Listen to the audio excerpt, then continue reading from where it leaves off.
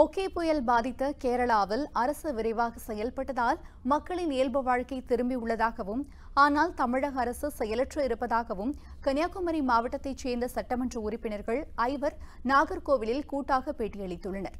கன்னியாகுமரி மாவட்ட எம்எல்ஏக்களான Austin Suresh Rajan Prince Mano Thangaraj Rajeshkumar என ஐவரும் செய்தியாளர்களை சந்திக்கும் போது இதனை குறிப்பிட்டனர்.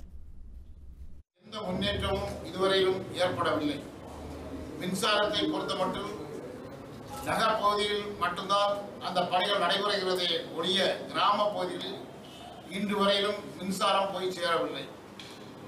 அதுபோன்று மீனவ கிராமங்களில் மீனவ மக்கள் பாதிக்கப்பட்டு கொண்டிருக்கிறார்கள்.